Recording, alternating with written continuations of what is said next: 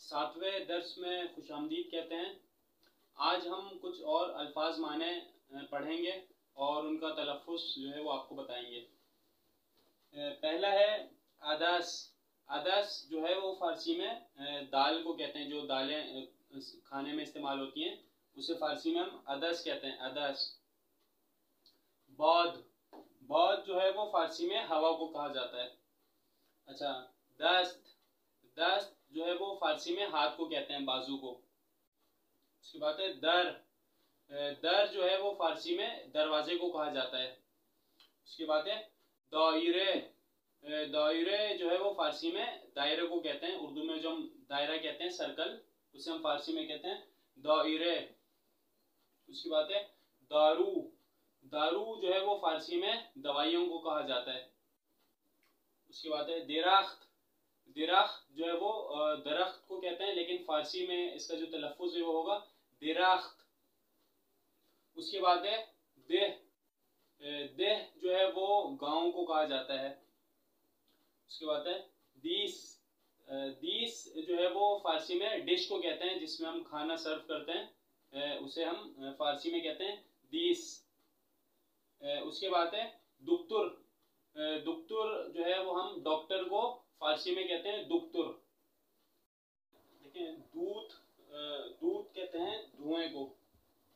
फारसी जबान में दूध उसके ज़रूरत ज़रूरत कहते हैं भुट्टे को। जो भुट्टा खाने के लिए इस्तेमाल होता है, उसे फारसी में कहते हैं ज़रूरत। उसकी बात है, रादियो। रादियो जो है वो रेडियो को फारसी जबान में रादियो कहा जाता है। रोयाने रोयाने लैपटॉप को फारसी में रोयाने कहते हैं।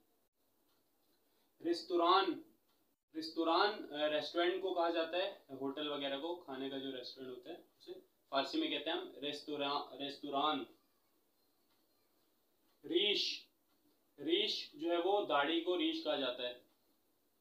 रीशे रीशे जो है वो दरख्त की जड़ों को रीशे कहा जाता है।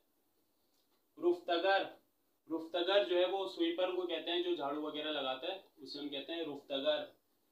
रुप गुजे रुप गुजे जो है वो कैचअप को कहते हैं, खाने वाले जो कैचअप होते हैं। रूबा रूबा जो है वो लोमड़ी को कहा जाता है।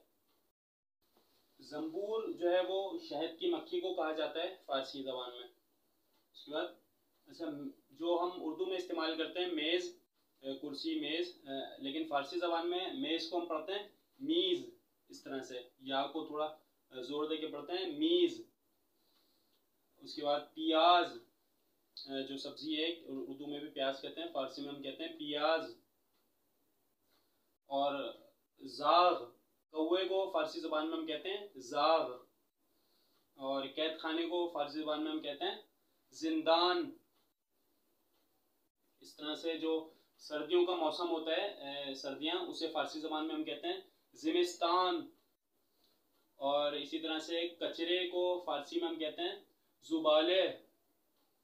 अच्छा और जो प्रेशर कुकर होता है जिसमें खाना पकाते हैं हम, उसे फारसी ज़बान में हम कहते हैं जूतपाज और बाजू जो उर्दू में भी इस्तेमाल होता है, हाथ के लिए बाजू, उसे फारसी में भी हम बाजू कहते हैं। उसकी बात है जीब। जीब जो है वो जिप को कहते हैं जो मसलन शर्ट में लगी होती है जिप या कपड़ों में लगती है, उसे फारसी ज़बान में हम कहते हैं जीप आज का दर्स यहीं पे तमाम हुआ। इन अगले दर्स में आपकी खिदमत में फिर हाजिर होंगे। अपना ख्याल रखिएगा और जो दर्स आज आपको पढ़ाया है अल्फाज माने, उनको याद करिएगा। अल्लाह हाफिज़।